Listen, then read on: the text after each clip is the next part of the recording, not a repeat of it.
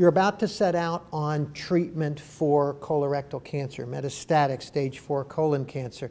And you may have read there's a bunch of different medicines out there. Why is your doctor picking these specific medicines to give to you? And I just kind of want to walk you through the basics of these medicines. The most important base medicine, if you will, is a drug called 5-FU. Comes in two flavors.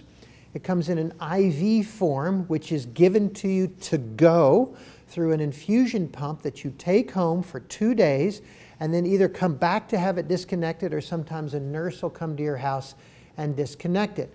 That pump 5FU also comes in a pill form called Xeloda or capecitabine, and those two drugs are equivalent. And some people don't like pills, some people like the pump, and vice versa. We tend to use more pills around here than pump, but that's between you and your doc to decide. They're the same, right?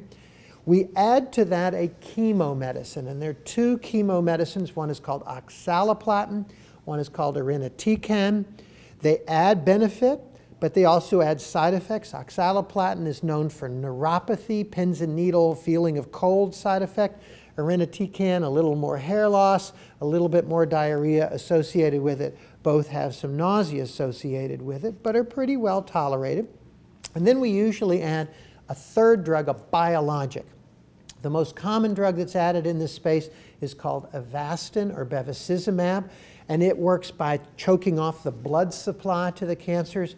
Some patients are eligible for drugs called cetuximab or panitumumab, but they have to have particular gene tests that are positive, and believe it or not, their tumors need to be on the left side.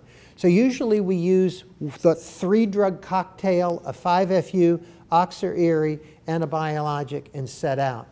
Some of us push some patients even harder by adding a fourth drug to the mix, but that's a discussion between you and your doc. And sometimes we actually back down and only use two drugs right from the beginning. Again, a discussion between you and your doc. So generally speaking, three drug regimens going forward that has a pretty high probability of shrinking your cancer.